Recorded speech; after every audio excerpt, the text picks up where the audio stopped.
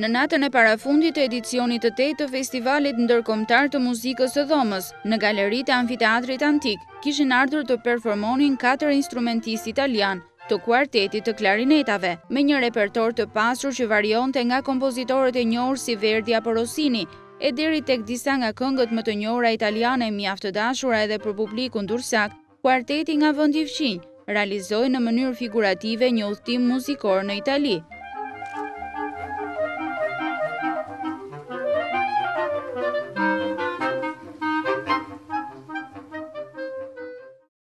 Jo pa qëllim, në programin e koncertit të sotit, mbrapa, unë kam shënuar dhe e kam lënë ashtu siç edhe ato ma dhanë në fletëpalosjen e tyre, Viaggio musicale in Italia, një udhëtim muzikor në Itali. Janë tinguj muzikor shumë të njohur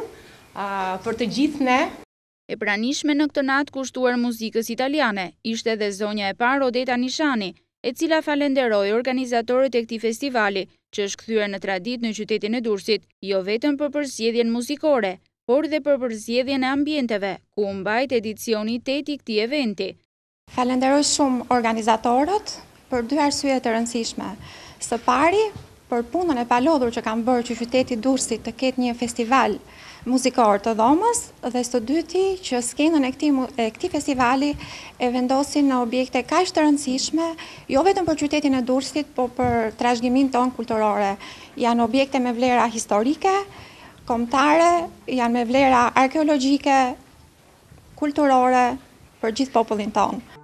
Në natën e fundit të Festivalit Ndërkombëtar të Muzikës së Dhomës, do të shfaqet për artdashësit opera Traviata e kompozitorit italian Xhuzepe Verdi, një homazh ky i organizatorëve për këtë figurë të shquar të muzikës klasike italiane në dyqind vjetorin e lindjes.